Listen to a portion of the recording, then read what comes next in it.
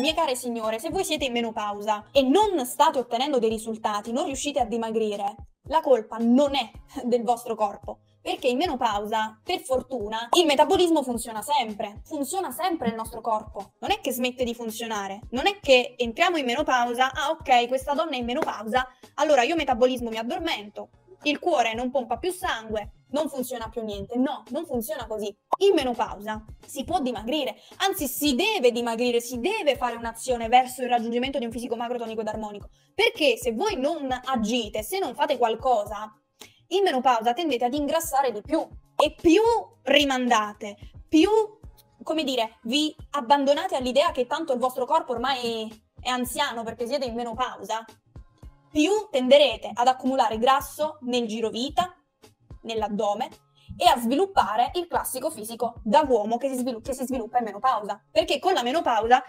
si accumula grasso nella parte alta del corpo e quindi sviluppate un classico fisico androide, cioè tipo gli uomini. Perché? Perché c'è la carenza di estrogeni.